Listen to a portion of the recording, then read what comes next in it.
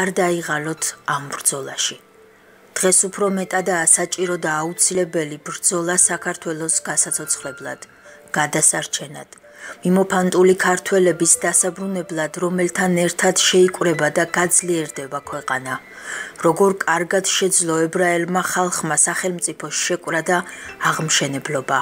დაიბრუნა საუკუნეების მანძილზე გაფანტული ერი და ღირსეულად გააგრძელა ცხოვრება თავის მიწაზე. ეს ძალა გვჭირდება ჩვენ და თქვენ შეძლებთ ამას. ბატონო თემურ. ქართველი და ებრაელი ხალხის საუკუნოვანი მეგობრობა ალბათ ასეც ჰგავს ერთმანეთს. არ დაიღალოთ ამ ბრძოლაში. ლია აბჟანდაძე